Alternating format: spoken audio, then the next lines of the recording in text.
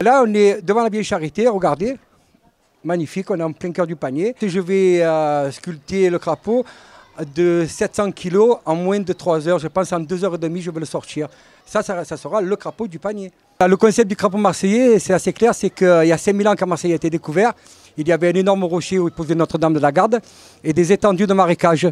Et euh, en fait, le premier habitant marseillais, ce sont les batraciens. Le chef des batraciens, c'est le crapaud et le, euh, crapaud marseillais, euh, c'est le premier habitant de la ville de Marseille. Le crapaud, on le connaît euh, un peu de partout dans la ville, mais j'ai eu beaucoup de reproches qu'il était urbain.